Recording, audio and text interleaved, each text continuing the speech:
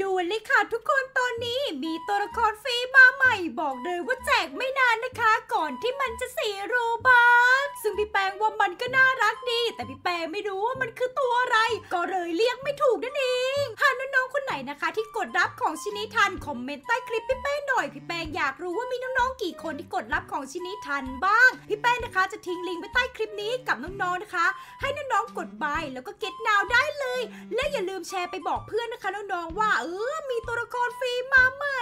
บอกเลยว่าห้ามพลาดเด็ดขาดใส่ฮาโลวีนปีนี้น่ารักชะมุดเลยอะวันนี้นะคะพี่แป้งไม่แน่ใจว่ามีของฟรีมาอีกไหมถ้ามีจะรีบมาอัปเดตเด้อ